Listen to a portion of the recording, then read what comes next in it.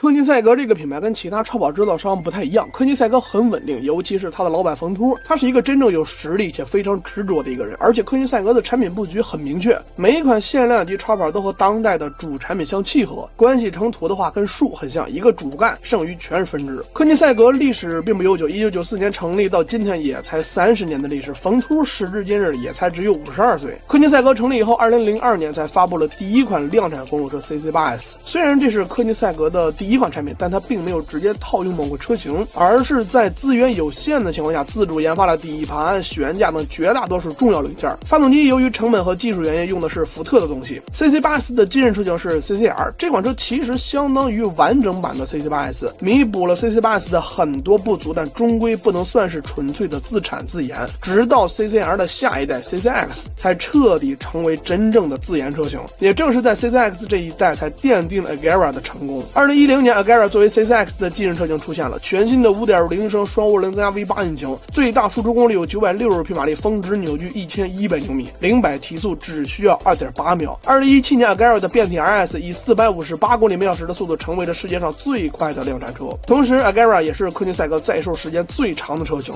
再往后就是限量125台的 Jesco 了，重新改进的5.1升双涡轮增压 V8 引擎，成功将功率突破了千匹。现在它拥有1298匹马力，峰值扭矩。千牛米。值得一提的是，在 E85 乙醇燃料的加持下，功率能提升到超过一千六百匹，峰值扭矩一千五百牛米。这里有个车要提一下，CC850，科尼赛格用来致敬 CC8S 的纪念车型，就是以 Jesco 为基础打造的。以上就是科尼赛格产品线的主干，其余车型的特别版，比如 RS One One，都是基于这些主干车型升级来的。不过在此之外，还有两款车，Regera、Gamera，两款不属于主干的插电混动车型。由于时间原因呢，这两款车只能放到下一期了。下一期，哎，不仅有车，还有关于冯秃的简单介绍，敬请期待。我是极速车市，双击关注告诉我你想看什么车。